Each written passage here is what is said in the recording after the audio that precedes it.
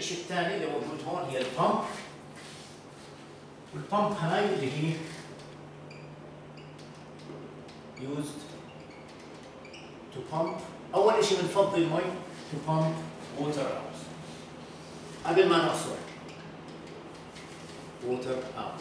إذا خلصت مرحلة الغسيل دخلنا الصابونة مع المي أو بدون صابونة. ضلنا نحرك عمركم شفتوها كيف الهاي بتتحرك باتجاه وتتحرك بعكس الاتجاه؟ بس ضلينا نتحرك بنفس الاتجاه. شو بصير؟ رح تضل هالملابس مكومة على بعض مش رح تدخل المي بين الفراغات اللي بين الملابس.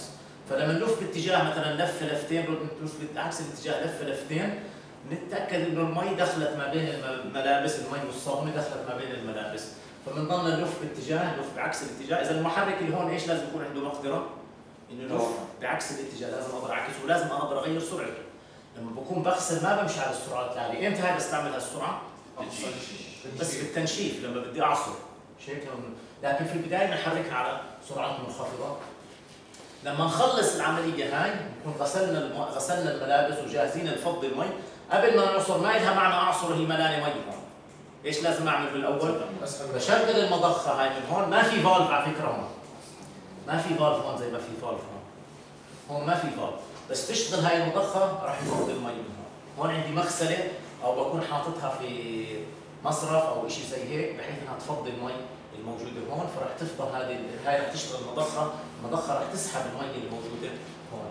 إذا هاي المضخة عبارة عن single phase بهاي الحالة بهذه الهوفر نكسترا هي عبارة عن single phase AC motor single phase AC motor. Is used to pump water out at the of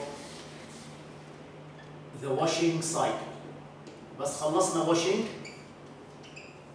cycle um, it uses a single phase. راح أفرجيكم إياها في المختبر. Single phase AC هون ما في فالز من هون بس بشغله فترة كافية. كيف بعرف إنه فضي وبطل في مي؟ إيش لازم يكون كمان فيه كمان سنسر